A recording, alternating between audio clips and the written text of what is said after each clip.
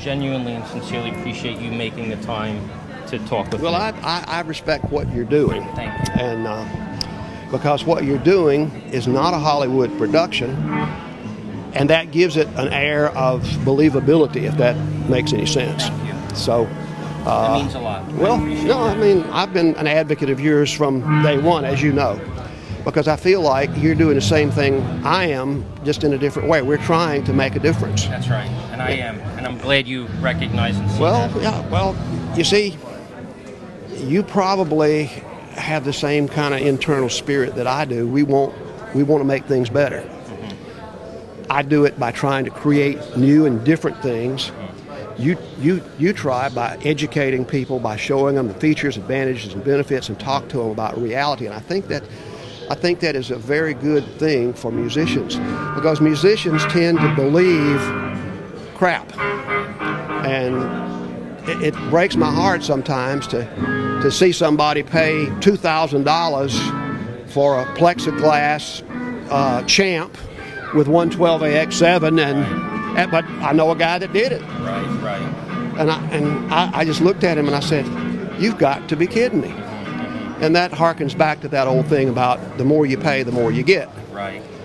Unfortunately, Not always the case. well, no, it's rarely the case because to assume that you can judge quality, performance, reliability on the price alone is nuts because you have to assume then that all the other factors that go into the product, the design, engineering, manufacturing, the company, that, that all companies are the same. And that's no more the case than to say, well, all bass players from Ohio are the same.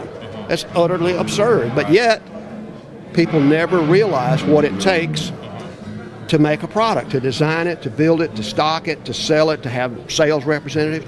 Some of my friendly competitors owe literally hundreds of millions of dollars. Well, when they sell their product, who do you suppose pays the interest on that? The customer. Customer. But they don't know that. I mean, uh, guys will have some little reproduction of a crappy amplifier that somebody did in 1968, and it's two or three thousand dollars.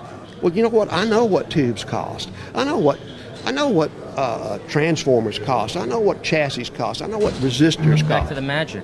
People believe that well, but but, something but magic. there, sadly, when I tell guitar players there's no magic, it's like telling a kid there's no Santa Claus, because they want to believe in Santa Claus. Right. Pardon the English, but there ain't no Santa Claus, Right. and there ain't no magic. Mm-hmm. Magic is only magic if you don't understand Right. what's going on. Mm-hmm. My advantage is I do understand. And I try to be honest with people because to me, happiness is never having to say, I'm sorry. So that's it. Words of wisdom. Pay attention. Words of wisdom right, All there. Mr. Louis, Peavey, it thank you. really is always a pleasure. Hartley, not Mr. Peavey. I'm not that old yet. Hartley, thank But you I'm so getting much. you and me both. Someone told me today is the youngest I will ever be. That's, that's probably true. That's probably true. So In fact, enjoy the day. I just had a birthday December the 30th, and when, at my age, those are not happy birthdays. Uh, But anyway, I'm. I'm, I'm in good health as far as I know.